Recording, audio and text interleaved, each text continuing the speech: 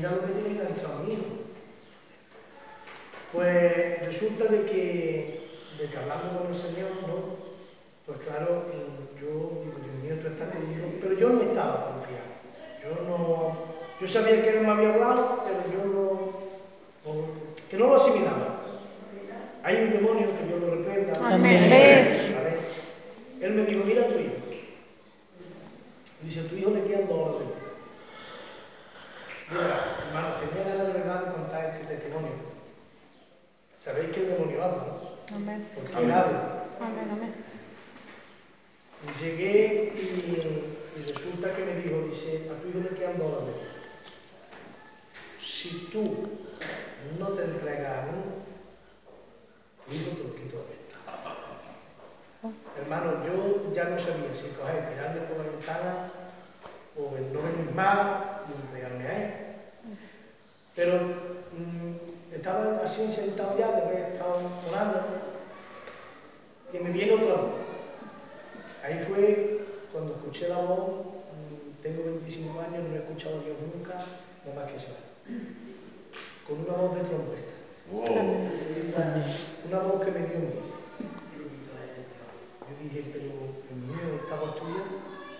Y él me dijo, dice, mira, porque yo había mirado antes al niño y lo había visto así, hinchado, morado. Y él me dijo, dice, mira ahora tuya. Y digo, Dios mío, ya me da miedo, porque lo he visto morado, lo he visto morado.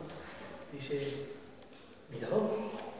Lo miré al niño y tenía una ángel a la izquierda y una ángel a la derecha. Amén. Dice, tú no te preocupes. Dice, porque yo estoy contigo.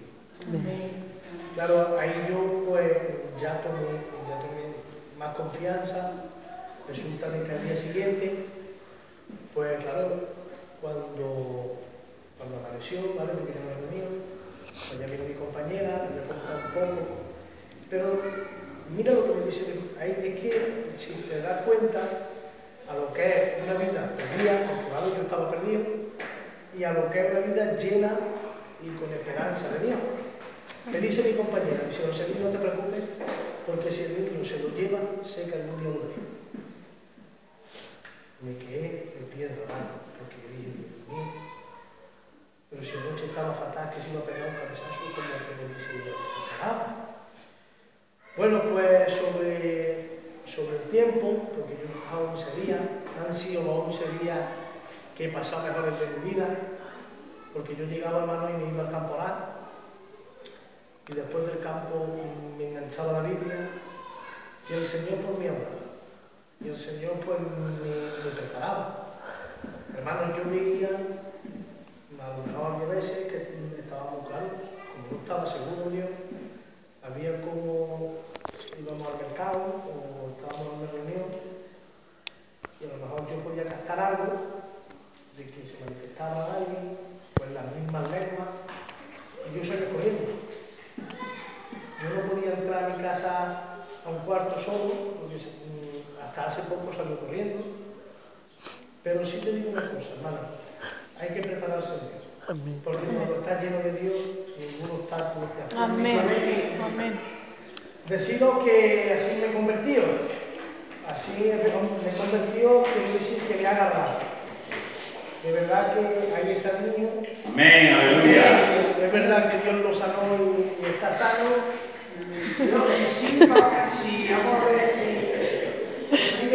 esto. Si no le da así. Ven esto. Mira. Cuando tú estabas en la cama, mira lo que te acuerdas, papá. ¿Qué es lo que viste tú, es lo que viste? ¿Qué me dijiste? Papá, ¿viste qué? ¿Eh? Aquí. Mira la cámara.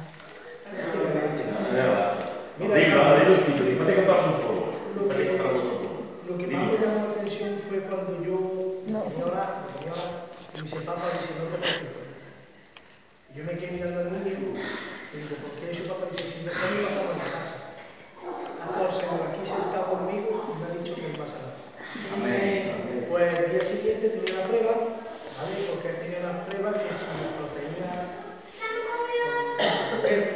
si las proteínas no iban a salir, pues tenía que ir a lo mejor no te llevaron.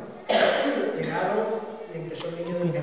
salido usado por completo. Amén. bajo tratamiento. ¿Qué decirlo, hermano? Ya ustedes tienen la experiencia que yo, sabéis lo que es cada Dios. ¿Y qué decirlo? Pues cada uno pues disfrutando. Amén. Gracias. Amén. Yo cuando que entré aquí, oré por el niño, yo empecé a,